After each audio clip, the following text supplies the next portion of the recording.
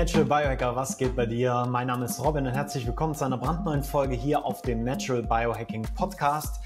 Und heute habe ich wieder einen Unternehmer, einen Biohacker, einen Vater, einen Peak Performer zu Gast. Und zwar den lieben Rolf Duda, aka Peak Wolf. Vielleicht kennt ihr ihn schon, auf Instagram ist er sehr, sehr aktiv.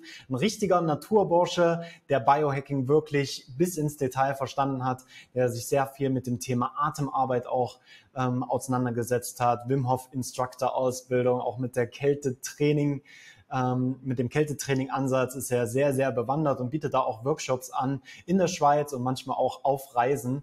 Und äh, es ist ein sehr, sehr spannender Podcast geworden, ähm, wo wir, ja, wo sich einfach wieder mal zwei Biohacker, wirklich zwei Natural Biohacker austauschen. Und du weißt, was dann passiert. Dann kommen natürlich sehr viele Dinge zusammen auch. Sehr viele Hacks, die du direkt umsetzen kannst. Und vor allem auch diesmal für dein Unternehmen, für deine Mitarbeiter, um einfach auch stressfrei zu sein, das Ganze noch mehr zu genießen und in eine Art Flow-Zustand zu kommen, wo einfach alles ein bisschen müheloser ist. Nicht ganz mühelos, aber du einfach besser damit umgehen kannst. Und da gibt uns Peak Wolf die richtigen Hacks mit an den Start. Ich wünsche dir ganz viel Spaß bei der Interviewfolge mit Rolf Duda, aka Peak Wolf.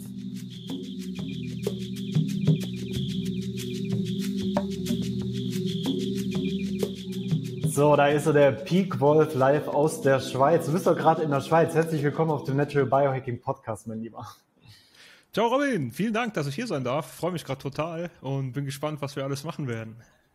Ja, wir sind ja auch schon seit längerem Kontakt. Ich glaube, das erste Mal über LinkedIn damals noch, wo wir einfach so ein bisschen miteinander geschrieben haben und dann gemerkt haben, wir sind eigentlich in sehr ähnlichen Bereichen auch unterwegs. Aber für die Zuhörer, denen Rolf Duda jetzt noch nicht kennen, sag mal, wer bist du und was machst du eigentlich? Ja, super gerne. Mein Name ist Rolf Duda und in meinem normalen früheren Leben war ich einfach Unternehmensberater, bin da eben selbstständig mit meiner eigenen Firma unterwegs gewesen, habe äh, später auch noch ein Software-Startup dazu gegründet und ähm, bin parallel immer mehr in Kontakt mit der ganzen Gesundheitsgeschichte gekommen, weil ich einfach gesehen habe, dass gerade um mich herum, also im Umfeld, fing das mit den Wehwehchen an. Also die ersten hatten irgendwie Rückenleiden und dann kam später mal eine Bandscheibe dazu, eine Meniskusoperation. Und das ging dann mehr und mehr, nachher auch in psychische Themen. Also dass Leute Burnout hatten aus meiner Peer Group und ich war halt immer sehr erfolgsgetrieben. Also ich habe nichts mit Gesundheit am Hut gehabt, wirklich. Habe für mich selber natürlich mit Ernährung und Sport geachtet. Aber ja. ja mit Yoga oder so hättest du mir nicht kommen müssen. Und äh, das hat sich bei mir dann eben massiv geändert, als ich gesehen habe, was so um mich herum alles passiert und als ich dann eben auch selber in der eigenen Familie ein paar Schicksalsschläge miterlebt habe. Ähm, und mhm. das hat mhm. mich zu einem totalen Umdenken gebracht. Das erste Mal, bei mir war das damals durch die Wim Hof Methode, Zugang zu mir selbst gefunden habe. Und ich habe dann hier im See eben abgefroren, weil ich äh, so motiviert war oder übermotiviert war, dass ich alles falsch gemacht habe.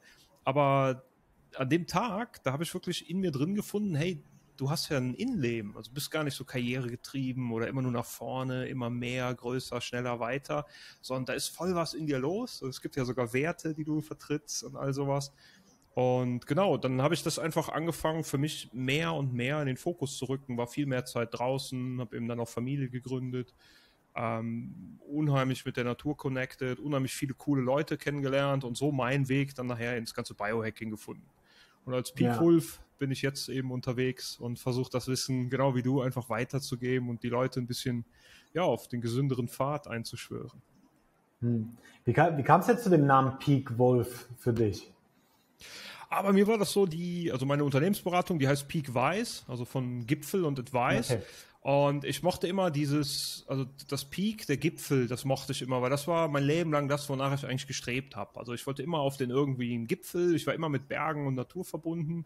Ich wollte einfach die, diese Übersicht, die man da hat, mal hoch hinaus. Das ist ja auch immer mit einer gewissen Anstrengung verbunden, die ich immer ja. ja äh, bereit war auch zu leisten. Und bei Peak Wise, da habe ich gesagt, ähm, also erreicht den Gipfel, schließt das Gap. Äh, das ist das, mhm. wo, wo man auch in unserem Logo dann wiederfindet, weil auf dem Weg gibt es halt immer Rückschläge. Das war so das, was mir gefallen hat.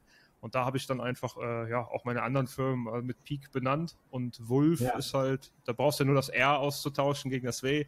Dann hast du Peak Rolf oder Peak Wolf. Ja. Äh, das fand ich dann ganz cool. Genau. Also wir würden es ja einfach so in der deutschen modernen Welt, wenn man es ja einfach als Spitze bezeichnen, also Spitzenleistung auch, ne? Und du hast vorhin schon mal den Begriff auch äh, genommen, den wir beide ja schon sehr gut kennen, und das ist äh, Biohacking. Mich würde natürlich auch immer interessieren, da hat jeder so ein bisschen eine andere Definition. Was ist genau für dich Biohacking und wie bist du auch damals dazu gekommen, mit diesem Begriff zu arbeiten? Ja, bei mir kam das, dass ich das erste Mal gehört habe, ähm, über Tim Ferriss eigentlich. Also habe ich einfach im Tim ja. Ferriss Podcast so ein bisschen gehört und wusste damals gar nichts damit anzufangen. Habe darüber nachher auch die Wim Hof Methode gefunden, die ja auch da einklassiert wird. Aber auch da muss ich sagen, wusste ich gar nichts mit anzufangen. Und das kam bei mir erst später, dass ich bei der Ausbildung zum Wim Hof Instructor habe ich eben unheimlich viele coole Leute kennengelernt, die auch total mhm. motivierend, inspirierend war und alle so, ja, wie soll ich das sagen?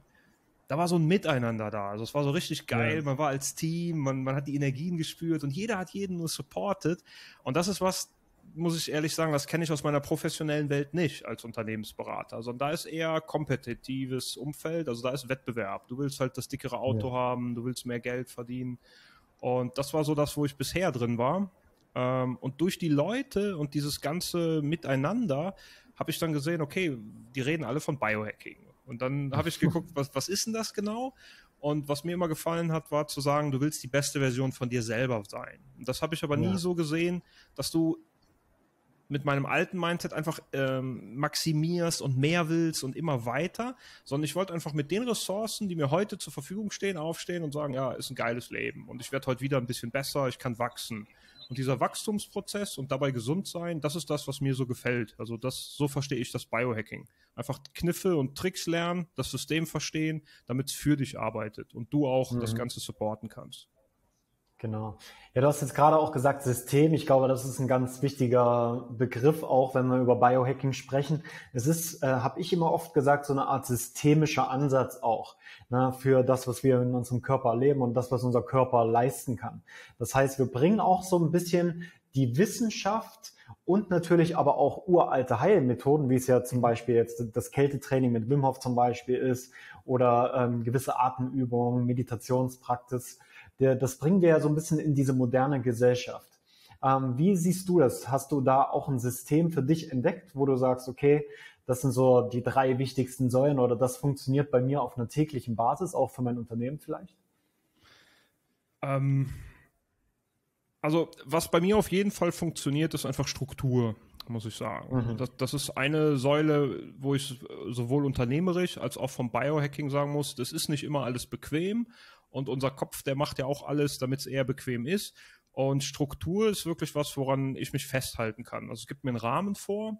Und wenn ja. ich mich mit Struktur und Disziplin, die gehört natürlich auch immer dazu, wenn ich mich mhm. da entlanghangel, dann sehe ich einfach, dass ich meine Ziele besser erreichen kann. Ob das jetzt Experimente im Biohacking sind, ob das äh, Umsatzziele für die Firma sind oder was auch ja. immer. Also Struktur ist was, was mir wirklich extrem hilft als Säule Nummer eins, würde ich sagen. Ja, Genau. Ähm, ja, Struktur ist natürlich was, also ich habe mich immer lange gewehrt gegen Struktur. Ich weiß nicht, ich bin ja, damals ausgestiegen eigentlich aus diesen Systemen, weil ich gedacht habe, nein, okay, ich möchte frei sein. Ja, es hat aber eine lange Zeit gebraucht, ehe ich gemerkt habe, okay, eigentlich bedeutet Struktur Freiheit zu haben, weil ich dann mhm. nämlich auch wieder mehr Kontrolle in meinem Alltag erlange. Ähm, wie definierst du jetzt für dich Struktur? Und warum ist Struktur ja so eine wichtige Säule für dich? Also bei mir kommt es bei der Struktur darauf an, welche Elemente packst du denn jetzt da zusammen, damit du eine Struktur ja. hast. Und bei mir war das so, ich habe wirklich, also die Unternehmensberatung haben wir aufgebaut. Äh, wir waren dann äh, recht schnell über zehn Leute und das ging einfach vorwärts, äh, wurde immer mhm. weiter. Mhm. Da habe ich gemerkt, naja, hast du immer irgendwas anderes zu tun, als eigentlich geplant ist. Das heißt, du hast Störungen und die hast du ja auch im Leben überall. Und ja. Struktur heißt für mich jetzt mal die Elemente, die ich überhaupt bearbeiten will, überhaupt mal zu definieren. Dass ich sage, was will mhm. ich haben? Und das heißt für mich jetzt im Biohacking, heißt das Zeit für mich. Also wo will ich Zeit für mich haben? Wie will ich mich belohnen? Ähm, wie will ich Zeit mit der Familie bringen? Und wenn ich die überhaupt mhm. mal sehe, diese ganzen Elemente vor mir, dann kann ich die mit Struktur einfach in meinen Kalender einbauen. Das heißt, ich sehe jetzt auf einmal ganz klar, okay, ich nehme mir Zeit für die Mitarbeiter, habe da einen Block. Ich nehme mir Zeit für meine Familie, habe da einen Block. Aber ich vergesse mich eben auch nicht selber, sondern nehme mir da bewusst einen Block, um auch mal nichts zu machen. Also das ist bei mir ein Block. Ich schreibe mir da rein, heute wird meditiert oder nichts gemacht, eine Stunde. Und äh, diese Freizeiten, die nehme ich mir. Und ich habe mich genau wie du gegen Struktur gewehrt.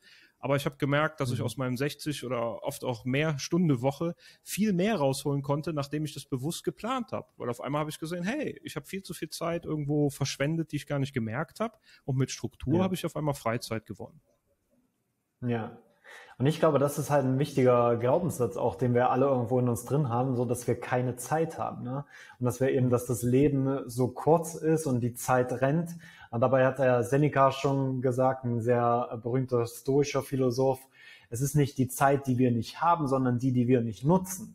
Und ja. ich glaube, wenn wir uns mit Struktur befassen und wenn wir dann auch die Disziplin und das Commitment, also die Verpflichtung haben, diese Struktur beizubehalten, dann werden wir automatisch Herr unserer Zeit und können Zeit somit viel effektiver nutzen. Gibt es jetzt noch Tools in deinem Leben und deinem Alltag auch, wo du dir bewusst Zeit nimmst, auch um ja, um diese Zeit einfach ein bisschen besser zu nutzen, auch um da mehr Räume zu schaffen, vielleicht auch für die Dinge, die dir wichtig sind? Ja, vielleicht zum Thema Zeit. Ich habe das nie verstanden. Also ich habe schon im, das war bei mir im Studium, war da so mein mein Durchbruch.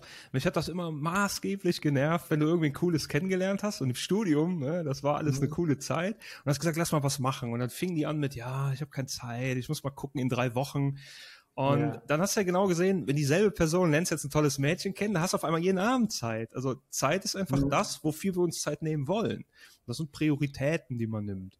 Und ja. das ist eigentlich auch mein Tool, also dass ich wirklich sage, ich, ich hänge Prioritäten an was dran, für mich selber. Ja. Und ich habe hohe Prioritäten wirklich an Zeit für mich, nicht aus einer egoistischen Perspektive, sondern dass ich sage, wenn, wenn ich mir die Zeit für mich nicht nehme, um, um mal zu reflektieren, meine Ziele festzulegen, auch herunterzufahren, zu regenerieren, dann hat mein Umfeld da auch nichts von. Also dann leidet jeder nur, weil ich gar nicht weiß, ich reagiere nur, aber das ist nie mehr mit meinen Zielen auf einem Weg und ähm, ich verliere mich da irgendwie selber. Darum hat diese, diese Me-Time, also Zeit für mich, bei mir unheimlich ja. hohe Priorität und die wird auch bewusst immer wieder eingeplant.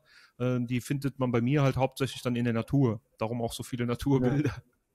Ja, ja, ja, stimmt. Ja, gut, wenn ich ja bei dir auf dem Instagram-Channel schaue, du bist immer irgendwo in den Bergen, immer in irgendwelchen Bergseen und äh, ja, arbeitest auch viel mit der Hand, finde ich auch äh, mega, mega cool so. Das ist, glaube ich, sehr wichtig auch, um wieder die Erdung auch zu erfahren, was ja ein wichtiges Thema auch im Biohacking ist. Und äh, wir haben jetzt schon über ein paar Werte eigentlich gesprochen, die du hast. Ja, und ich glaube, das Thema Werte, hast du vorhin kurz mal angedeutet, ist auch ganz wichtig, wenn wir uns diese Struktur schaffen. Ich glaube, viele Menschen haben überhaupt gar keine klare Vorstellung, was sie denn überhaupt wollen im Leben und was ihnen wichtig ist. Ja. Und wenn du dann eben eine Struktur quasi das ist wie als ob du ein Haus auf Treibsand aufbaust. Ne? Wenn du keine wirkliche Struktur, kein Fundament hast, dann wird es auch schwierig, da diszipliniert zu sein und ein Commitment zu haben. Und dann bist du halt irgendwie die ganze Zeit nur am, am Kämpfen und hast eben diese Glaubensstrukturen wie ich habe keine Zeit und oh, es wird mir alles zu viel, Überforderung und Stress. Gab es da in deinem Leben auch solche Phasen, wo du gesagt hast, okay, mir fehlt komplett der Boden irgendwie für die Struktur?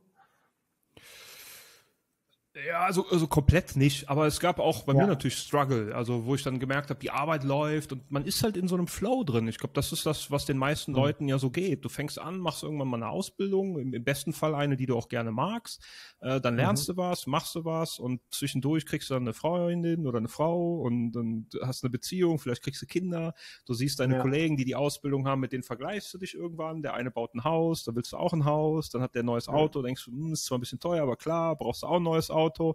Und irgendwie bist du so drin und hast das Gefühl, die Ziele, die so vor dir hergelebt werden, das sind jetzt deine.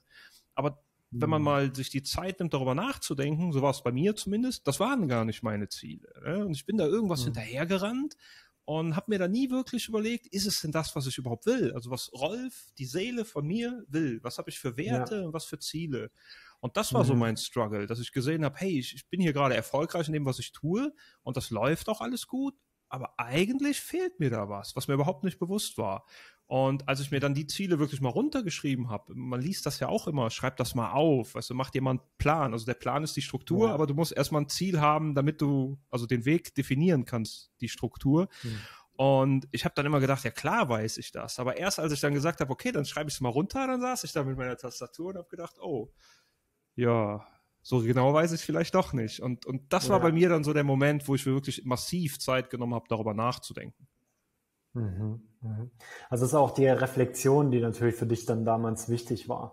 Hat die ja. Ähm, Natur dir zum Beispiel oder eben deine Werte haben dir dann auch geholfen, so ähm, diesen Prozess für dich her herauszufinden und was vielleicht so deine klare Vision auch ist im Leben? Oder gab es da eine Meditationstechnik, ähm, wo du dann gemerkt hast, okay, das, das bringt mir jetzt so ein bisschen den Zugang auch dazu? Nee, bei mir war das vor allem wirklich die Natur und meine Frau. Also meine Frau, die mhm. hat mich da nie zu irgendwas gedrängt, sondern überall einfach supported. Aber die hat mir einfach ja. auch immer andere Wege aufgezeigt. Und die ist so, mhm. die, also die ist dort voll im Leben und einfach so dankbar und zufrieden und ich kriege überall anders mit. Die Frau braucht eine neue Tasche, die braucht ein neues Auto. Sowas habe ich von meiner mhm. Frau nie gehört. So, das ging einfach ja. immer immer so supportiv äh, mit, mit Liebe einfach Hand in Hand über. Und mhm. ähm, als ich mir dann auch noch die Zeit genommen habe, in der Natur zu gucken, wie funktioniert denn überhaupt die Welt um uns rum und sitze dann mal im mhm. Berg und gucke zwei Stunden den Steinböcken zu, während mir die Sauer runterläuft, weil ich vergessen ja. habe, was zu trinken. Da habe ich gedacht, krass, also eigentlich läuft ja alles. Das Leben ist Flow, du musst es nur zulassen. Mhm.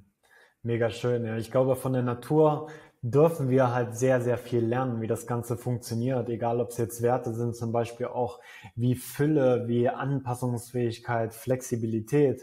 Und ich glaube, das machen wir heutzutage eben viel zu wenig, wirklich mal da rausgehen und mal zwei Stunden eben den Steinböcken zuschauen oder mal zwei Stunden irgendwie auf die Wellen vom Meer schauen, was ja auch schon sehr meditativ auch sein kann. Würdest du auch Oder sagen, Feuer. also ich muss sagen, guckt ins Feuer, Leute. Das ist einfach nur geil. Ja, ja, stimmt, stimmt. Ja, so der Großvater Feuer.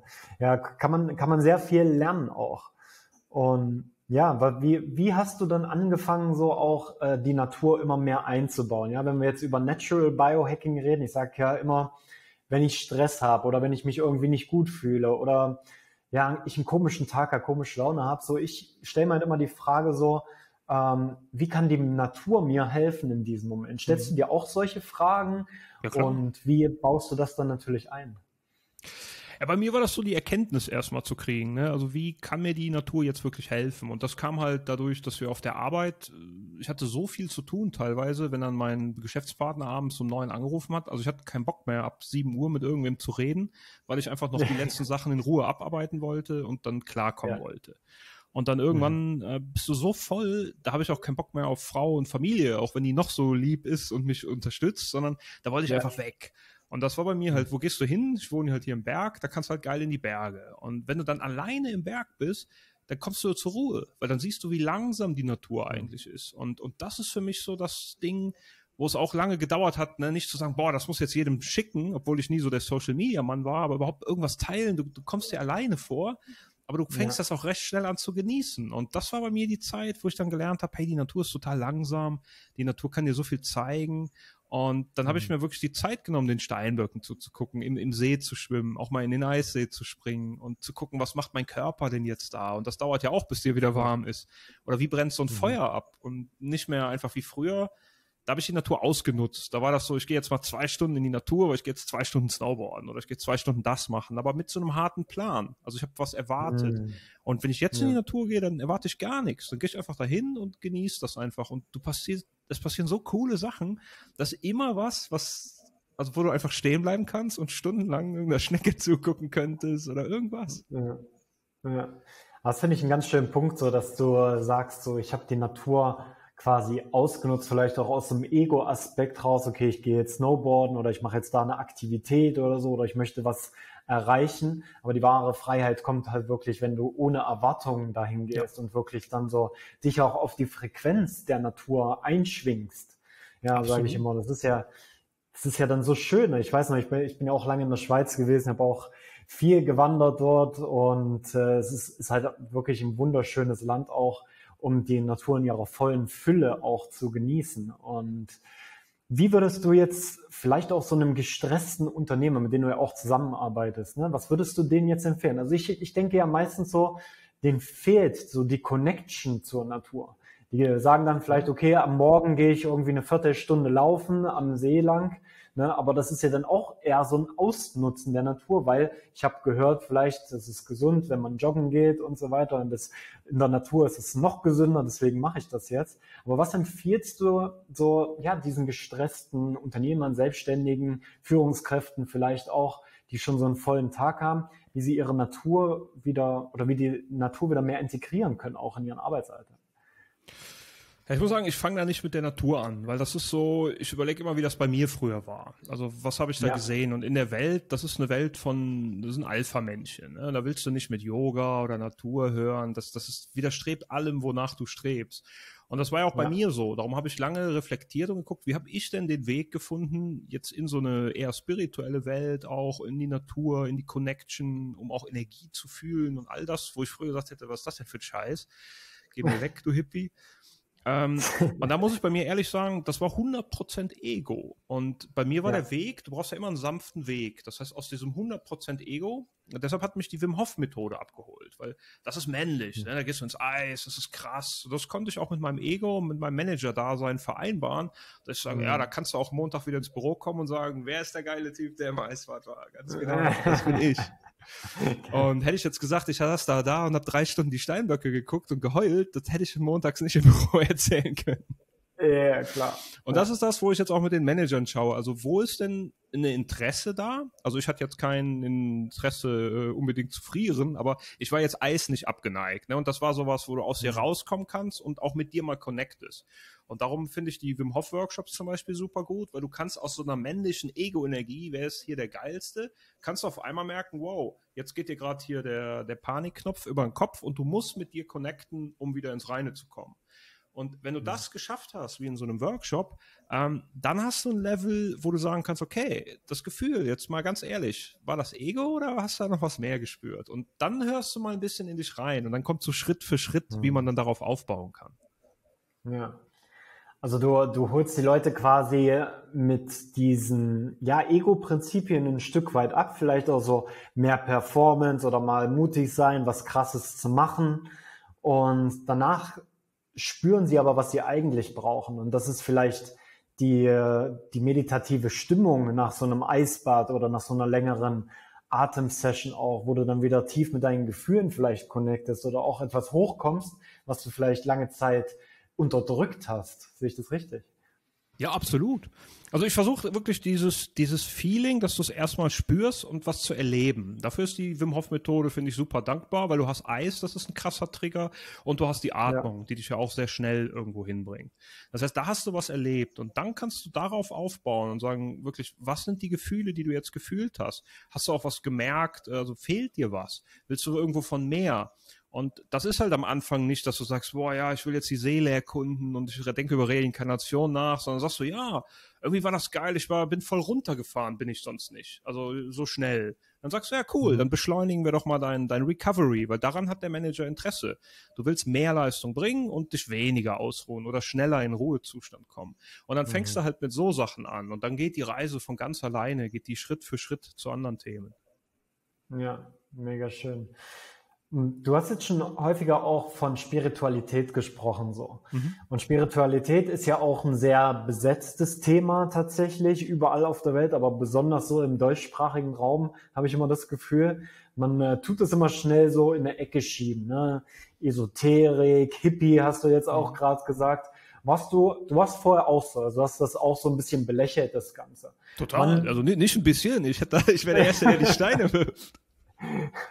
Okay. Aber wann war so ein Punkt erreicht, wo du gemerkt hast, okay, das, da ist ein bisschen mehr noch als das, was ich jetzt in meinem Alltag, in meinem Business, in meinem Privatleben vielleicht auch erlebt habe? Ja, das war halt, wenn, wenn du dich mit dir selber beschäftigst. Also bei mir war es so. Als ich dann erkannt habe in mhm. mir drin, da ist mehr los als jetzt nur, äh, ja, Rolf das Ego. Ähm, ja das war so mein, mein Einstiegspunkt eigentlich, wo ich dann das erste Mal darüber nachgedacht habe. Und dann kamen nachher halt mehr und mehr auch, auch traurige Sachen halt. Ich habe mit meiner Frau mal Kinder verloren, äh, wo man dann mhm. denkt, okay, ist das denn alles? Ne? Also du brauchst immer diesen, diesen Schock. Das ist ja meistens gibt es irgendein Trauma, was die Leute auf so eine Reise belegt. Und ich würde ja. jetzt nicht sagen, dass ich davon direkt ein Trauma hatte, aber es war ein Riesenschock. Also das war einfach das erste Mal, dass ich dachte so, oh fuck. Äh, jetzt läuft irgendwas nicht so, wie du es beeinflussen kannst und du kannst gar nichts machen. Und dann guckst du mal über den Tellerrand, weil du suchst ja Erklärungen. Und mhm. da war so spirituelle Erklärung. Zu dem Zeitpunkt hättest du mir damit jetzt, muss ich sagen, auch nicht kommen müssen, aber das kam dann so nachgelagert. Ne? Da kam so ein mhm. Baustein mhm. auf den anderen und auf einmal denkst du darüber nach, gibt es denn eine Seele? Was hat eine Seele für eine Aufgabe vielleicht? Und Ähm, ja. Das war für mich total der schöne Gedanke, weil man dann alles, egal was passiert, kannst du da so einordnen und sagen, hey, es ist ja voll cool, das, das hat irgendeinen größeren Sinn, da gab es eine Aufgabe und ja. du kannst da gucken, jede Seele will sich weiterentwickeln und das hat mir so eine innerliche Ruhe gegeben. Ich hatte jetzt nie Angst vorm Tod, aber seitdem ist für mich komplett also wie egal, wenn ich jetzt heute gehen muss, überlege ich mir nur, war das jetzt ein guter, gutes Leben bisher? Und ja, das war's. Von daher absolut im Reinen mit mir selber. Und das fand ich so schön, schön dass ich eben ja mehr und mehr mich auch mit so Themen beschäftigen will. Ja, ja. Und äh, ich glaube, jeder, der auch mal äh, Wim Hof zum Beispiel kennengelernt hat oder auf so einem Workshop war, der weiß ja da auch viele Säulen fließen da ja zusammen sozusagen. Ne? Das vermischen sich viele Themen. Auf der einen Seite hast du diese Peak-Performance, höhere Produktivität, Energie, Männlichkeit, was wir schon jetzt besprochen haben. Aber auf der anderen Seite hast du auch so die, eher die weiblichen Prinzipien vielleicht, die Stille, das, das Empfangen, aber dann auch die Spiritualität. Also ich meine, wer Wim Hof mal äh, kennengelernt hat, wir sprechen ja übrigens vom Iceman, also falls ihr den noch nicht kennt, da habe ich auch schon sehr viele Folgen dazu ähm, aufgenommen mit verschiedenen Wim Hof Instruktoren zum Beispiel. Und er bringt so ein bisschen die Themen Kälte, Kältetraining, Mindset und Atmung zusammen. Und wer ihn mal kennengelernt hat, der weiß, dann kommt er mit seiner Gitarre und äh, chantet dann irgendwelche Mantras. Und das war für mich halt auch so überraschend, ja, zu merken, so, okay, da, da ist viel mehr Spiritualität drin, mhm. als ich jetzt eigentlich erwartet habe. Weil nach außen ist es so diese, diese männlichen Prinzipien, ja, dass man halt, wie gesagt, über seine Komfortzone herausgeht und dass man Dinge macht, wo andere vielleicht von Abstand nehmen. Aber dann, wenn du durch diesen, da, da komme ich jetzt auch wieder zu dem Gipfel, wenn du durch diese Anstrengungen gehst, ja, dann wirst du dann auch die Gefühle dahinter erforschen können und wirst dann diese Weit, diesen Weitblick auch haben, wie du zum Beispiel, wenn du auf dem Gipfel stehst. Wie, wie war so deine erste Erfahrung mit der Practice? Das würde mich mega interessieren und Zuhörer sicherlich auch. Ähm, also meine erste Erfahrung war eben das, was überhaupt den Weg bereitet hat da rein. Da habe ich ein Video gesehen, ähm, da saß der Wim in so einer Eistonne und hat halt erzählt, dass der, wenn er im Eis ist, hast du Ruhe im Kopf und connectest mhm. mit dir mhm. selber. Und das war so, wo ich dachte, ja, Ruhe im Kopf habe ich noch nie gehabt. Ich habe ja immer irgendwas am Machen und mit mir selber ja. connected habe ich eigentlich auch noch nie. Und dann bin ich halt im Januar hier in Thuner See gehupft und war da halt so zwölf Minuten, glaube ich, drin. Also war total erfroren danach, weil ich alles falsch ja, gemacht ja. habe, was man falsch machen konnte. Aber ja. ich hatte volle Ruhe im Kopf. Und das habe ich dann auch erst mhm. Stunden später, als ich nicht mehr gezittert habe, realisiert, äh, was da eigentlich passiert ist. Und dann habe ich mich mhm. direkt für den zehn Wochen Videokurs angemeldet und mit dieser Atmung das gemacht das war so okay, weil es aber auch aus dem, diesem Ego-Ding, du kannst halt super lang die Luft anhalten, kannst voll viele Liegestütze machen, alles toll. Ja. Aber was für mich dann wirklich geil war, war die Ausbildung bei Wim Hof selber zum Instructor. Weil da war das erste Mal, dass ich ja in einer Gruppe geatmet habe. Wir waren damals 24 ja. Stück. Das waren die erste Grupp, äh, Gruppe der internationalen Instruktoren. Und das hat dich so tief weggebracht. Also da hatte ich wirklich hier, du hast mhm. die T-Rex-Arme und du, du bist einfach raus aus der Welt. Ich habe kein Zeitgefühl mehr gehabt. Das hat mich so mhm. angefixt, dass ich danach so neugierig auf Atemtherapien war und mich direkt in mehr als zehn äh, Atemmethoden ja, zertifiziert habe und immer mehr wissen wollte. Ja, ja, ja. Ja, es ist so super spannend. Also ich kann mich noch erinnern, ich bin ja auch über die Atmung quasi zum ganzen Kältetraining und so gekommen damals. Und ich habe einfach nur gedacht, hey krass, diese Gefühle und diese, diese Zustände, die ich versucht habe, früher durch Alkohol, Sex, Drogen und so weiter zu bekommen, diese Verbindung eigentlich, das ist ja das Hauptgefühl, was dahinter steckt, die habe ich durch diese Atmung bekommen. Ich habe auf einmal Bilder gesehen, ich konnte meine Gedanken komplett runterfahren und ausschalten. Und dann die Kombination noch mit der Kälte war für mich so, wow, okay, hier ist eine ganze Welt, von der ich überhaupt noch gar keine Ahnung hatte. Ich wusste gar nicht, was mein Körper überhaupt kann, was dieses System überhaupt für Möglichkeiten hat. Und mit dem Biohacker, mit dem ich drüber spreche, ist es ähnlich. Man hat diesen Moment, wo du einfach merkst, so, wow, ey, alles das, was mir erzählt wurde über das hier, ja, das stimmt ja gar nicht oder stimmt nicht in diesem Maße, wie ich es gedacht habe. Ja, das da fehlt viel, was. viel mehr. Ja, Bitte? Es fehlt was. Es fehlt was, es fehlt ja, was. Und ich hatte da ähnliche Erfahrungen auch wie du, wo ich das erste Mal länger im Eis oder im Züricher See, was damals in der Schweiz saß. Wirklich, das war im Dezember bei vier Grad Außentemperatur und Schnee. Und ich saß da drin und ich habe einfach nur, ich war total im Frieden. Und ich war mit meiner Atmung verbunden. Mich, mich hat es auch nicht interessiert, ob da irgendwelche Leute Videos und Fotos gemacht haben. Ich war einfach bei mir. Und das, äh, das war für mich ein sehr, sehr wichtiges Tool, weil ich ähnlich wie du wahrscheinlich sehr viel im Kopf immer war und sehr ja, strukturiert auch. Ja, wenn du zu viel Struktur hast, das ist ja auch nicht gut. Man muss ja eine gewisse Balance auch haben. Und das Eis und die Atmung dazu hat mir wirklich sehr, sehr geholfen dabei. Ja, aber ich denke, das, was du gerade sagst, also zu viel Struktur ist, ist nicht gut also das, was wir machen jetzt mit dem Biohacking, da rede ich oft mit Leuten drüber, die haben das Gefühl, alles ist so durchgetaktet. Das ist jetzt auch, wenn du Tim mhm. Ferriss anguckst, Tony Robbins oder Ben Greenfield, ja. da hast du das Gefühl, boah, da, habe ich ja gar nicht die Zeit für. Mhm. Und da muss man ja ehrlich sagen, so, so ist ja nicht das Leben. Also auch ich trinke mal ein Bier, ich, ich nehme mir auch Freizeit, mhm. ich lasse auch mal sagen, scheiß auf den Plan, jetzt gehe ich mal hier mit dem Kollegen irgendwo im See schwimmen oder mach was anderes. Man, ja. man darf da nicht so hart mit sich selber sein. Ja, ja. Ja, das ist ja, glaube ich, auch das, was man dann denkt. Äh, es gibt sogar einen äh, Begriff dafür in der Psychologie. Ich glaube, es ist psychologische Reaktanz heißt das. Ich weiß nicht, ob du mal was davon gehört hast. Und das ist dann, wenn wir eine gewisse Struktur bekommen, egal ob es von außen ist oder ob wir uns die selbst zum Beispiel durch einen Stundenplan einfach mhm. geben, dann kommt irgendwann vielleicht diese Emotion hoch, dass, oh, ich fühle mich eingeengt. Ja. Und dann machen wir zu. Dann bauen wir quasi eine Blockade auf und sagen, nein, ich möchte das nicht mehr und verfallen in alte Muster zurück. Ja, aber das muss man natürlich erstmal wahrnehmen. Ja, scheiß auf den Begriff, ja, ist egal, aber erstmal wahrnehmen, dass da wirklich, dass du dieses Gefühl hast, dass eine Struktur dich einengt mhm. und das auch mal genau hinterfragen. Okay, ist das jetzt wirklich so? Und ich glaube, wenn du dann darauf kommst, sagst, hey, warum habe hab ich diese Struktur oder warum habe ich diesen Plan denn jetzt gemacht?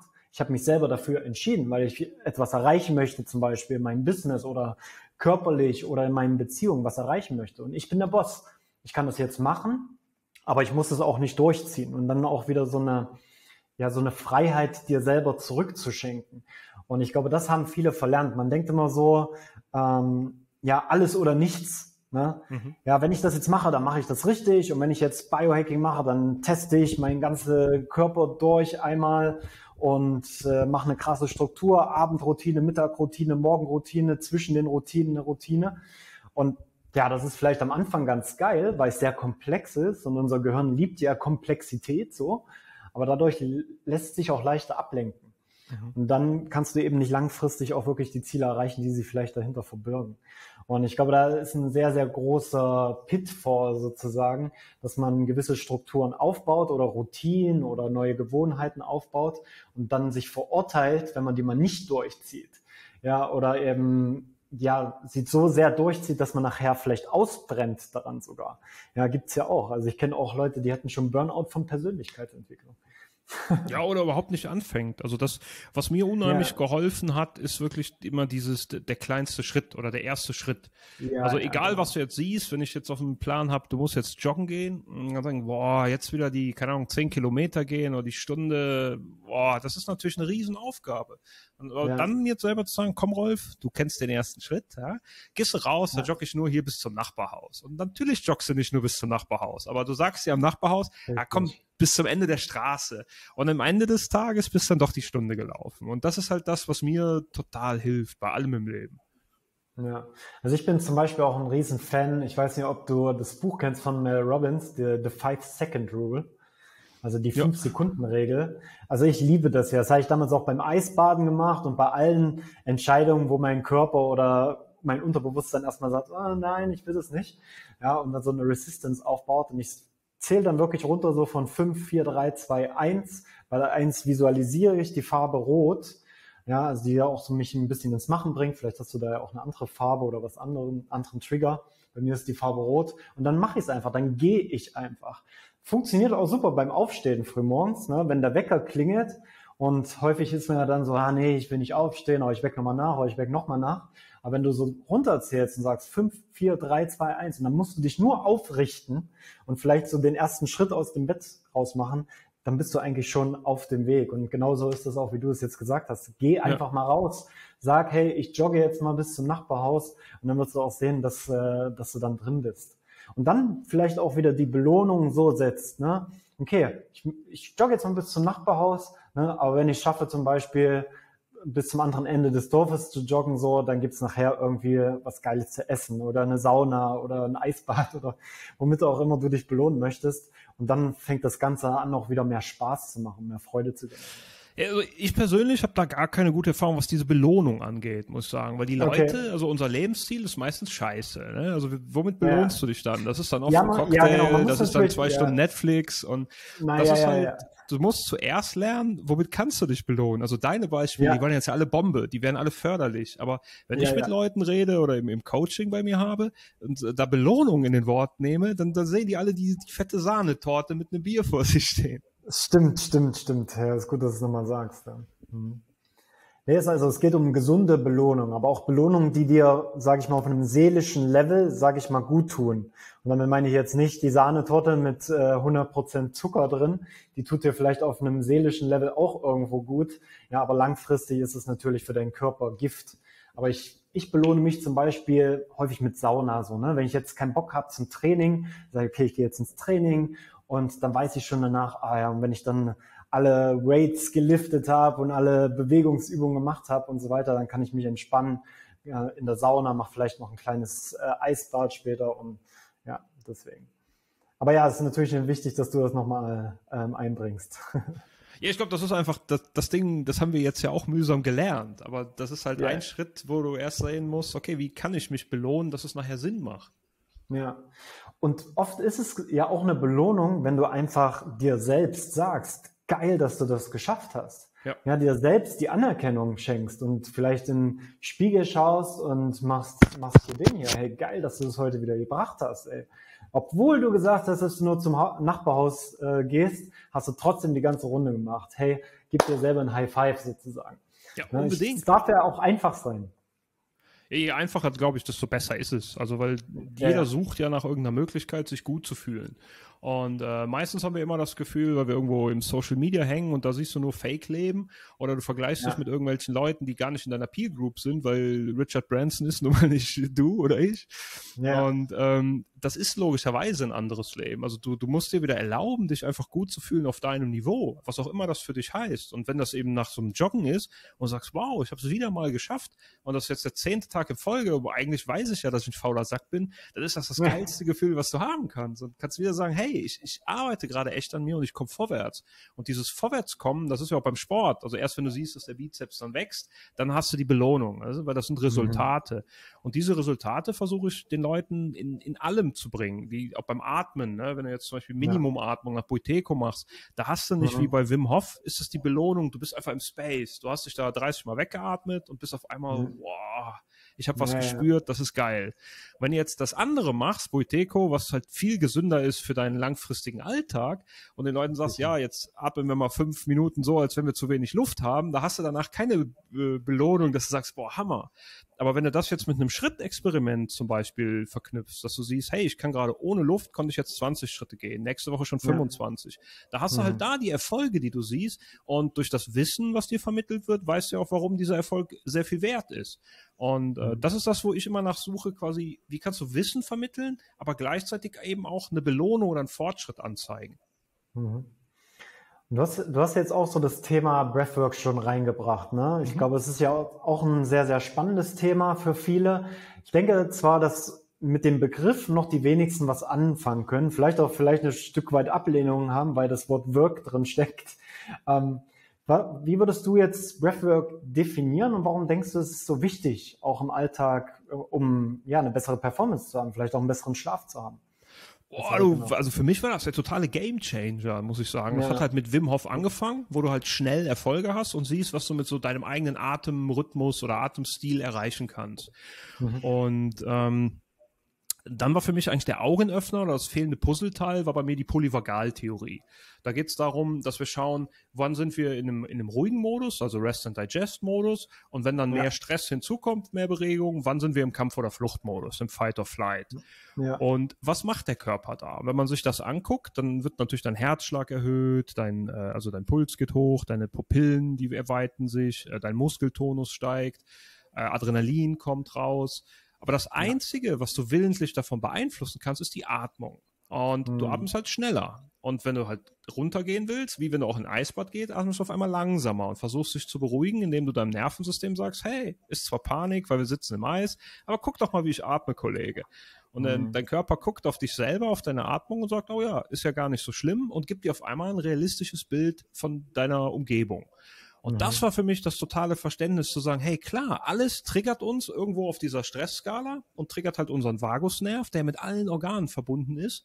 Und wenn ja. die Atmung das Einzige ist, was ich jetzt gut nutzen kann, da reinzukommen, also damals dachte ich noch, die, die Atmung wäre jetzt das Einzige, was du machen kannst, aber dann nutze ich die doch. Und dann habe ich angefangen rumzuprobieren mit Atmung, also mit viel Atmen, mhm. mit wenig Atmen, mit also gemixt, was auch immer, mit gar nicht Atmen, mit, ich habe hier hinter mir meine hyperbare Sauerstoffkammer. Ähm, mhm also mit allem habe ich rumexperimentiert und das war Wahnsinn. Also wie du dann durch die States bei dir selber gleiten kannst, wie du neue Sachen, neue Erfahrungen hast, wie du körperlich fitter wirst, geistig fitter, besser schlafen mhm. kannst, besser Sport machen kannst. Das ist einfach für alles in deinem Leben gut. Ja, ja. Ja, es ist äh, so, so ein kraftvolles Tool. Und ich glaube, es braucht auch noch mehr Menschen, die einfach da rausgehen auch und sagen, okay, Atmung ist ein weitaus größeres Thema, als wir glauben. Ne? Ich, ich sehe es jetzt gerade in meiner Community, wahrscheinlich auch in deiner Community, dass viele jetzt ähm, so infiziert auch werden von Wim Hof und so weiter, ja. ähnlich wie wir es ja auch waren, was auch gut ist, ja, um in das ganze Thema reinzukommen. Aber ich glaube, man muss dann sehr, sehr schnell sich auch ein gewisses Set aneignen von verschiedenen Tools, mhm. was Breathwork anbetrifft. Du hast jetzt eben schon mal gesagt, Buteco, ne? dann gibt es noch Oxygen Advantage, dann gibt es so viele Leute, die da verschiedene ähm, Perspektiven auch haben. Und ich glaube, das Ziel ist halt einfach auch, die Atemmuster besser zu verstehen und sie dann bewusst zu verändern. Und das ist, glaube ich, auch für alle Unternehmer, die hier jetzt, ähm, für alle Leute, die gestresst sind eigentlich, ne, geht ja nicht nur um Unternehmer, selbstständige Mütter, keine Ahnung was, Väter, ähm, seinen Atem wieder mehr zu kontrollieren und vielleicht auch besser zu verstehen mhm. und in den Alltag auch so einzubauen, dass du in gewissen, ähm, in gewissen Situationen vielleicht einfach mal wieder den simplen Ansatz hast und sagst, okay, ich verlangsame jetzt mal meine Atmung. Ja. Und was ich aber sehe, ist natürlich auch die Schwierigkeit, dass viele jetzt mit äh, Wim Hof anfangen, ja, und dann sagen, okay, ich mache jetzt zwei, dreimal am Tag Wim Hof. So. Ne, und sind in dieser Hyperventilation quasi auch drin. Und ich glaube, dass nur alleine das ist wahrscheinlich nicht der richtige Weg, oder was denkst du? Nee, gar nicht. Ich muss sagen, also mich hat das vier Jahre gekostet. Ich habe mich eigentlich damit auseinandergesetzt und dann bin wie jede Atemmethode hinterhergerannt. Weil am Anfang war es halt Wim Hof, was war so geil. Dann habe ich was Neues gefunden, das war so geil. Dann war ich transformatives Atmen, das war so geil. Und mhm. ich habe überall mal ein Zertifikat gemacht, weil ich dachte, das ist ja der Wahnsinn. Aber im Endeffekt habe ich für mich erkannt, ähm, es gibt eigentlich eine Quelle, ne? das ist die Natur und unser Körper. Also wie funktioniert denn Atmen überhaupt und was passiert dann eben bodychemisch und auch bodymechanisch in, in unserem Körper? Ja. Und ähm, das ist für mich jetzt Biohacking, zu verstehen, ja. was da passiert und die Quelle zu suchen. Und das ist halt ganz einfach. Wenn wir die Lunge füllen, ne, dann haben wir was Mechanisches. Wenn wir de, de, mit unserem pH-Wert spielen, also mit äh, dem Sauerstoff- und Kohlenstoffdioxidgehalt, dann haben wir was Chemisches. Und das sind so die zwei wichtigsten Sachen, wo ich gesagt habe, okay, wenn du, wenn du die verstehen kannst, dann kannst du auch ableiten, was das in deinem Körper antriggert. Und da gibt es dann für mich zwei Extreme. Das eine ist die Wim Hof Atmung, die ist halt hier Maximumatmung. Und das andere ist Buiteco-Atmung, ist die Minimumatmung. Das sind zwei mhm. Komplett unterschiedliche Richtungen, die aber von derselben Quelle eben herkommen. Und ja. alles, was ich dazwischen gelernt habe, die habe ich alle weggelassen. Also ich bringe den Leuten jetzt entweder Wim Hof bei oder Richtung Buiteco und erkläre aber auch, was dabei passiert. Weil im idealen ja. Fall kommt dann Buiteco-Kunde auch mal in den Wim Hof-Workshop oder ein Wim Hof-Kunde mal in den Buiteco-Workshop und hat dann so viel Wissen erlangt, dass er genau versteht, was macht denn jetzt diese Atmung mit mir. Und dann brauchst du keine XY-Atmung mehr, die irgendwas verspricht, sondern du weißt genau, okay, ich muss das machen, vielleicht ein bisschen länger oder ich muss das machen, vielleicht ein bisschen weniger und dann findest du dich sofort wieder zurecht. Mhm.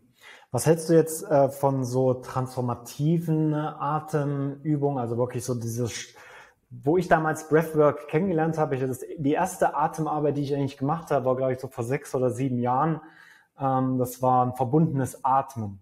Mhm. Äh, nach Rüdiger Dahlke, also Conscious Dahlke, Connected ja. Breathing. Und das ist ja wirklich so, also wirklich sehr, sehr extrem über eine Stunde und du kommst dann irgendwann total irgendwie ins Universe rausgeschossen. Ähm, was hältst du von solchen Praktiken? Haben die auch ihre Berechtigung? Haben die auch ihren Platz oder ist das für dich eher ähm, zu viel auch? Nee, absolut. Also ich glaube, du musst bereit sein dafür, also dass du ja. das machst. Und wenn du dafür offen bist und auch dich auf diese Erfahrung einlassen kannst, dann haben die absolut ihren Platz, weil du kannst damit kannst du eben Traumas lösen. Also ja. wir haben ja letztes Mal darüber gesprochen, wo ich hier in der Schweiz, da hatte ich Kollege aus Holland da, da haben wir ein transformatives Atmen angeboten und da habe ich kaum Teilnehmer mhm. gekriegt. Ne? Ich musste wirklich erklären, was ist denn das, was passiert da. Ja, wenn ich dasselbe in Portugal anbiete, dann ist das in zwei Tagen ausverkauft, obwohl ich in Portugal ja nur online bei Facebook mal geschrieben habe, hey, hier ist das.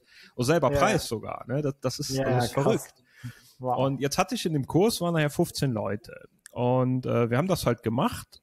Ich habe vorher einen Wim Hof Kurs gemacht und habe denen gesagt, komm, ihr könnt dann bleiben. Und dann sind halt noch ein paar andere dazugekommen und keiner von denen kannte transformatives Atmen. Aber alle sind irgendwie mal geblieben. Manche waren so aus dem Yoga, ne, die waren neugierig, wollten mal was Neues kennenlernen, weil die gehört haben, Breathwork ist gerade am Kommen, viel auch in deinem Podcast.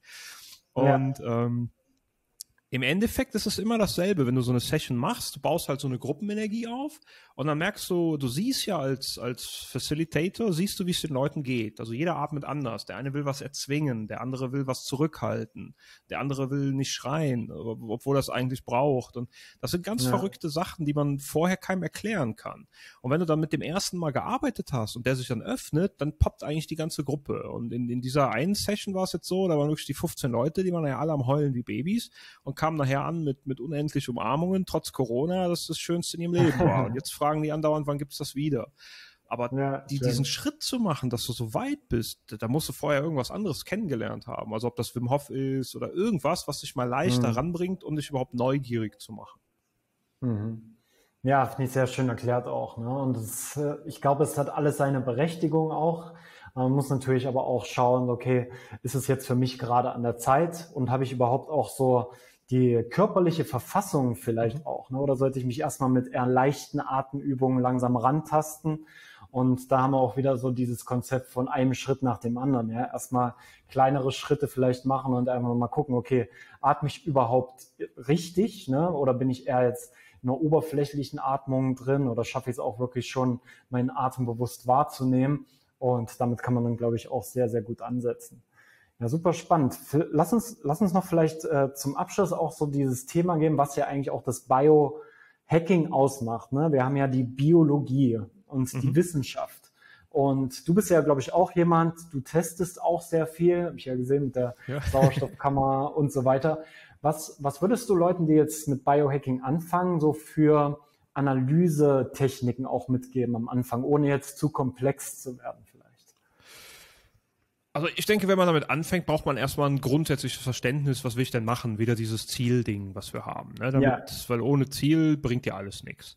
Und mhm. sagen wir ehrlich, die meisten von uns, die wollen gesünder werden. Und für die allermeisten heißt das, äh, ich muss körperlich ein bisschen was machen und ich will vielleicht geistig ein bisschen mehr Performance haben, nicht so Burnout sein, nicht so gestresst sein. Und das ja. sind für mich so die zwei Ebenen, mit denen ich eigentlich spiele. Und damit du jetzt aber gucken kannst, was hast du da für Fortschritte, äh, fange ich immer mit dem Körperlichen an. Da sage ich, okay, hier, jeder war mal im Fitnessstudio, jeder hat mal eine Diät gemacht, hast du irgendwann abgebrochen, warum? Na, jetzt brauchen wir erstmal einen Messwert. Das heißt, wir gucken mal, wo stehst du heute? Und dann kannst du dich ja körperlich vermessen. Am besten mal mit so einer, also ich hatte letztens hier InBody, die mag ich gerne. Ich habe das auch gerade mhm. hier Kann ich mal zeigen.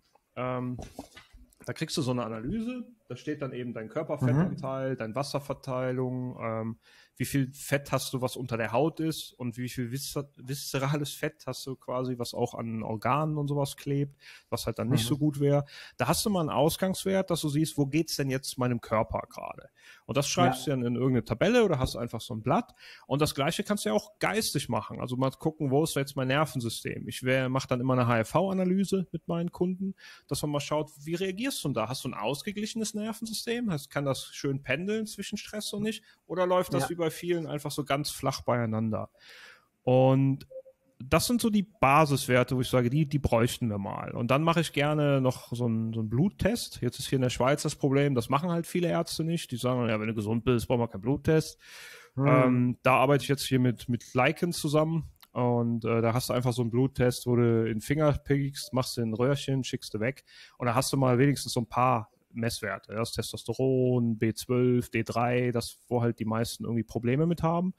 Und das schreibst du dann eben auch auf und das ist jetzt unser Fundament. Und dann kommt es auf deine Ziele an, wo wir jetzt weitergehen wollen. Also wenn es jetzt was ja. Körperliches ist, dann muss man gucken, was kannst du eben da machen, wie kannst du abnehmen, wie kannst du Muskeln aufbauen, was auch immer. Und meistens sind es jetzt bei mir, weil ich halt viel mit Büroleuten arbeite, sind es eher Themen auf das Nervensystem bezogen. Ja. Das heißt, wir wollen mehr, ähm, mehr Resilienz haben, mehr Widerstandsfähigkeit. Wir wollen einfach mal wieder uns nicht erschöpft fühlen, einfach mal wieder besser schlafen. Und das kann man halt schön mit den HFV-Sachen machen und dann Atemtechniken und sowas. Und da hole ich mir dann diese Erfolge, wie jetzt mit den Schritten, was ich eben erzählt habe, dass du sagst, hey, das fühlt sich jetzt nicht so gut an, aber guck mal, wir haben schon wieder zehn Schritte mehr. Ne? Das ist doch geil. Und jetzt machen ja. wir wieder eine HFV-Messung und sehen, ah, das sind nicht nur die Schritte, dein ganzes Nervensystem ist auf einmal viel flexibler geworden. Und mhm. äh, so versuche ich dann halt Schritt für Schritt darauf aufzubauen, aber von irgendeinem Nenner, den ich von den Leuten erst gefunden habe. Ja, okay, sehr, sehr spannend. Also die HRV-Analyse, vielleicht kannst du da noch mal ein bisschen was zu sagen, was es genau ist auch. Ich glaube, ja, das, super das gerne. Also die HRV-Analyse ist ähm, in der Entschuldigung, hier war gerade vom Fenster jemand. Äh, mein gut. Nachbar braucht irgendwas. Äh, in der HRV-Analyse geht es darum, dass die Herzratenvariabilität und da geht es darum, unser Herz schlägt halt nicht immer gleich schnell, sondern es schlägt, wenn wir jetzt eben im Stressmodus sind, dann schlägt es auf einmal schneller und wenn wir uns beruhigen, schlägt es langsamer. Und auch beim mhm. Einatmen schlägt es schneller und beim Ausatmen langsamer. Und die HFV-Analyse misst genau diesen Wert dazwischen. Das heißt, das schaut, wie schnell kann dein Herz sich anpassen. Von einer ruhigen Phase auf eine Stressphase und von der Stressphase wieder runter auf eine ruhige Phase. Und je höher dieser Wert ist und je flexibler eben dein Nervensystem ist, desto gesünder ist es, weil dann ist dein Parasympathikus, das ist so die, die Bremse in unserem Körper, die ist in der Lage, dich immer wieder runterzuholen. Und dann funktioniert halt deine Verdauung, dann funktioniert das, was repariert wird in deinem Körper, die ganze Reinigung von deinem Körper, das Detox. Ja. Ähm, solange du im Stress bist und dein Körper ja eigentlich nur Muskeln und alle Ressourcen nutzen will, um vom Löwen wegzurennen, da wird eben Verdauung runtergeregelt, da wird nicht aufgeräumt, da wird einfach nur gekämpft. Und in dem Zustand sind halt die meisten Leute heute. Und wenn man da mhm. verbleibt, verlernt der Körper wieder runter zu regulieren. Okay. Ja, super spannendes Thema auf jeden Fall. Und ja, ist auch geil, dass du da die Leute begleitest. Ich glaube, es ist ganz wichtig auch, dass wir aus diesem Hamsterrad des Stresses einfach rauskommen, weil ich merke das so oft, es gibt so viele geile Projekte da draußen, merkst ja auch bei meinen Kunden. Und ähm, wenn man dann eben nicht darauf achtet, eben mit seinem Körper zu arbeiten, mit seiner Atmung zu arbeiten, gucken, dass man gut schläft, dass man fit ist, dass man sich äh, bewegt, dass man viel in die Natur geht, ja, vielleicht sich auch mal diesen unangenehmen Situationen aussetzt, ja, im Training oder Kältetraining und so weiter, dann kann es eben schnell sein, dass man gegen die Wand läuft. Also das ist ja dann als Burnout bekannt heutzutage. Und ja. ich glaube, ich will nicht die Dunkelziffer wissen, wie viele geile Projekte da draußen einfach im Keim ersticken, weil Menschen nicht auf sich achten und nicht auf ihren Körper achten. Ja. Ah, zum Beispiel Burnout, weil du es gerade sagst, da sage ich immer, also wann passiert das? Weil Burnout, da sind wir ausgebrannt. Das ist jetzt, wenn man die Polyvagaltheorie anguckt, dann gibt es eben nicht nur diesen Ruhezustand und den Kampf oder Flucht, sondern es gibt noch was darüber, das ist der Freeze ne, wenn wir komplett eingefroren sind. Ja. Und wenn man jetzt mal schaut, so ein Hase, der rennt vom Wolf, Wolf weg, das heißt, der ist im Stressmodus und jetzt ist er irgendwann in der Ecke oder in der Höhle, der kann nicht mehr von dem Wolf abhauen. Und dann ist er am Ende seiner Ressourcen, ne? der weiß nicht mehr, was er machen kann. Und dann kommt er in den Freeze und stellt sich tot. Und das ist was, was heute in, in unserem Office-Leben total oft passiert, weil wir können nicht mehr mit Muskelkraft wie der Hase einfach wegrennen und reagieren. Der Chef kommt rein und sagt, ach Robin, halt doch mal kurz den Vortrag vor den 2000 Leuten, erklär mal die Strategie 2025 und dann stehst du da. Ja. Äh, und ja. dieses äh, passiert dir nur, wenn du keine Ressourcen mehr hast. Und da sehe ich das hm. Biohacking, du, du lernst dazu, aus deiner Komfortzone rauszukommen. Du dachtest, du hast keine Ressourcen im Eis zu überleben, auf einmal sitzt du zwei Minuten und findest geil. Du dachtest, ja. du kannst nicht richtig atmen, auf einmal kannst du ohne Atmen 60 Schritte gehen und find's geil. Und du dachtest, du kannst mhm. keine Muskeln aufbauen. All diese Sachen bauen dir Ressourcen auf. Und das heißt, du kommst gar nicht mehr in den Zustand, wo du dich irgendwo ausgebrannt fühlst, weil du immer genug Ressourcen hast und immer was Neues mhm. lernen kannst und siehst, ah, da ist ein Loch, das kann ich schnell wieder stopfen. Ja. Ja, sehr schön, auf jeden Fall. Ja, es ist eine, eine schöne Zusammenfassung auf jeden Fall nochmal, Rolf. Und zum Abschluss würde ich mich noch interessieren für ein paar andere Sachen. Und zwar kannst du einfach mal so ein paar kurze Antworten vielleicht mit uns teilen. Und zwar, ja, was sind denn so zwei Biohacks, die vielleicht einen minimalen Ansatz haben, aber die du wirklich jeden Tag machst? Ähm, also sicher mal Infra also Nahinfrarot, Fotobiomodulation, das nutze ich wirklich jeden Tag. Also man hat es ja gesehen, ich bin jetzt zweimal aufgestanden, hoch und runter. Hier unter meinem Schreibtisch hängen die. Und da ja. wird jeden Morgen mal die Beine und, und alles andere besonnt. Äh, das hilft mir unheimlich, einfach so Energie zu tanken. Und das zweite ist bei mir die Atmung. Also wenn du zwei Sachen ja. wissen willst, ich mache bestimmt äh, locker fünf Atemtechniken, die ich jeden Tag anwende. Ich mache jetzt nicht jeden Tag die Wim Hof Atmung, aber ich nutze ja. Äh, nach so einem Gespräch zum Beispiel mache ich eine bewusste Atmung, wo ich mich wieder mit CO2 auflade, also Minimumatmung, mhm. damit eben CO2 weitet ja die Blutgefäße, damit ich nicht in so einem Stressmodus bleibe, mein Herzschlag sich wieder beruhigen kann. Und Schön. das mache ich halt unheimlich oft. Und weil ich einen Bürojob habe, vielleicht als drittes, mache ich noch diese Biokinematik-Übungen, die mir jemand gezeigt hat. Einfach die gegen den Rücken sind und also für den Rücken.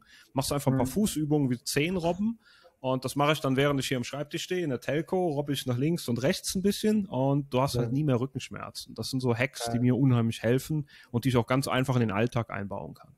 Mhm. Gibt es jetzt irgend so einen speziellen, vielleicht auch ein bisschen Advanced Biohack, so, so den vielleicht auch nicht alle kennen, so den du regelmäßig anwendest? Boah, das ist eine gute Frage. Nee, ich glaube, also ganz fancy ist da nichts. Also ich mache halt verschiedene Atemtechniken wirklich in der hyperbaren Sauerstoffkammer. Äh, das mhm. ist sicher mal ein Hack, aber das kann eben auch nicht jeder machen, wenn du nicht so eine Kammer zur Verfügung hast. Ja. Ähm, aber da arbeite ich unheimlich viel und teilweise auch mit verschiedenen Gasen. Also wenn du eben mit CO2 ein bisschen experimentierst, mit Lachgas ein bisschen experimentierst, mhm. jetzt äh, mit, ähm, wer ist es, äh, also Wasser, Hydrogen im Wasserstoff oder so, wenn ich das trinke. Ja. Äh, da mache ich halt viel mit, aber richtig advanced, dass ich sage, das ist jetzt raus aus der Welt äh, oder super kompliziert, okay. habe ich jetzt nichts. Ich glaube, das ist schon ziemlich aus der Welt. Was ich glaube für mich jetzt nicht, aber ich glaube für viele, die ja zuhören und dann denken, okay, Lachgase. ja, aber nee, spannend auf jeden Fall. Ja, sehr spannend, was du machst. Ich bin großer Fan äh, deiner Arbeit, mein Lieber. Und ja, lass uns weiter so intensiv im Kontakt sein, äh, wie wir es bereits jetzt sind. Und ja, erzähl gerne nochmal den Leuten so, wo sie dich am besten erreichen können auch und ja, wo sie mit dir connecten können vielleicht auch. Ja, super gerne. Also wer das mag, was ich so erzähle und Naturbilder sehen will, der findet das bei Instagram unter Peakwolf natürlich. Ähm, mein Podcast, den gibt's äh, auch auf allen Podcast-Stationen, ähm, auch unter Peakwolf. Und bei YouTube und der Peakwolf-Kanal, wo ich die Podcasts manchmal ähm, also wie die Biokinematikübungen, da geht es um Bewegung oder Strahlung im Büro, also ganze Elektrosmog-Thema. Überall, wo es sich ja. lohnt, mache ich da eben auch ein paar Videos und lade die jetzt nach und nach auf dem YouTube-Kanal hoch, äh, den ich, der ist aber recht neu. Also das sind so die Kanäle und sonst peakwolf.ch, da findet man meine Workshops und äh, ja, Experimente und Blog. Sehr schön. Und Rolf hat mir auch vor dem Interview nochmal gesagt, dass er auch noch einen 30-Franken-Gutschein oder so, glaube ich, hier an die 30 Franken waren es oder 30 Euro? Ja, 40 sogar. Ah, 40 sogar, okay, wow. Genau. Okay. Also ich würde den, den Hörern von dir gerne anbieten, also wer mal Lust auf so einen Wim Hof Workshop hat und das nicht kennt, das sind einfach die, die ich am regelmäßigsten äh, einplane, der kann da gerne mal mit einem 40 Franken Rabattcode äh, einfach dann Peakwolf ähm, über dich kommen und äh, das bei mir buchen. Das geht allerdings nicht über die Plattform. Da müsst ihr mich dann kurz anschreiben. Die Kontaktdaten findet ihr ja überall, ähm, eben auf dem Web, auf Instagram, wo auch immer. Okay, dann kann man einfach so Natural Biohacking als Codewort ähm, dir eine E-Mail ja, genau. schreiben oder bei Instagram und dann bist, weißt du Bescheid. Cool, vielen Dank für das Offer, mein Lieber. Ich hoffe, dass äh, ich dann auch bald mal zu dir komme und äh, mit dir ins Eis springen kann. Vielleicht nächstes Jahr, dieses Jahr wird es wahrscheinlich nichts mehr. Man wird mich mega freuen. Und ja, das letzte Wort gehört immer meinem Interviewgast. Also wenn du da jetzt noch was raushauen möchtest an die Community, ein Spruch oder ein Wort oder irgendwas, dann ist das deine Bühne. Oh, perfekt. Also erstmal möchte ich mich auch bedanken. Ich finde eben deine Arbeit auch super cool. Deshalb verfolge ich die so gerne und freue mich auch heute hier zu sein.